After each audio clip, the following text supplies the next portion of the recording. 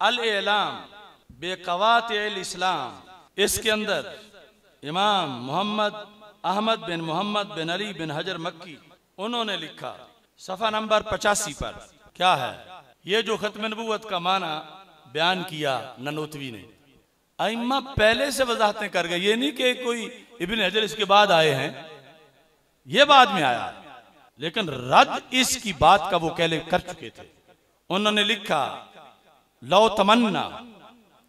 फ़ी वक्त नबी मिनल अंबिया, अन्नहु हुवा नबी, दूना जालिकन नबी। ये एक बात है। अगर किसी ने किसी नबी के जमाने में, जब उनका कलमा चल रहा हो, ये तमन्ना कोई करे कि काश ये नबी ना होते, मैं नबी होता माजल्ला एक ये बात। ओ फ़ी जमाने नबी ना, सल्लल्लाहु अलैहि वसल्लम। या कोई ये तमन्ना करे। हमारे आका वसल्लम की जाहिरी हयात में कि ये नबी ना होते, मैं नबी होता।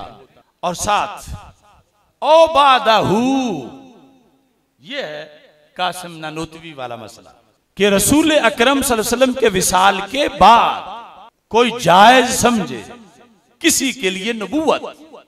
ओ अन्नहू लौका नबिया, ओ अन्नहू लम तकुन नबुवा।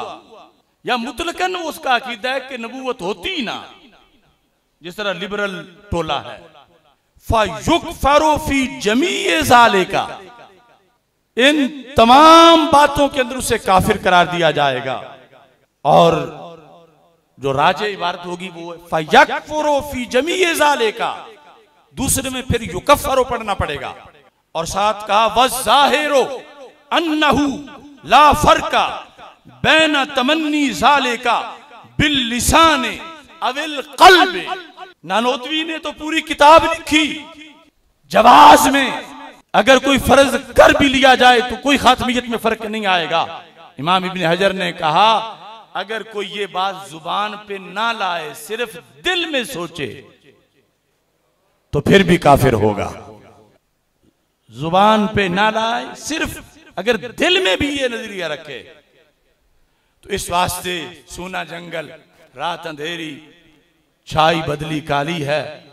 सोने वालों, जागते रहना चोरों की रखवाली है। आँख से काजल साफ़ चुरा लें, या वो चोर बलाके हैं, तेरी गछड़ी ताकी है और तूने नींद निकाली। है